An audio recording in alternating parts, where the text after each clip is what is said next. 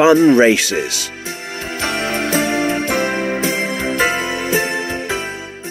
When you hear the word race, what comes to mind? Maybe a swimming race, perhaps a car race.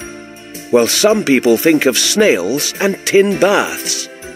When my sister asked me to go to a snail race with her, I thought it sounded a little too strange to be real.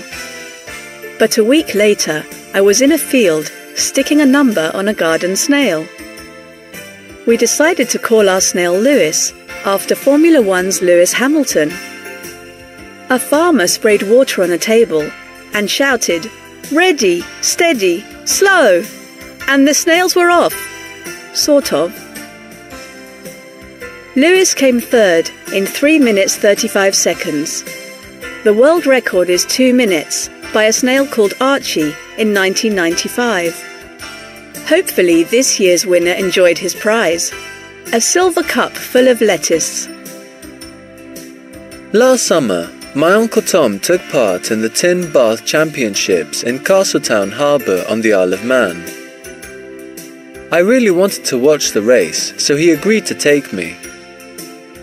Uncle Tom found an old tin bath and made some paddles. Just before the race, we decorated his bath with flags and balloons, and he dressed up as a Viking. The winner is the person who crosses the finish line first, or the person who gets the furthest before they sink. It's difficult to stay dry, and although Uncle Tom's bath sank, he still won.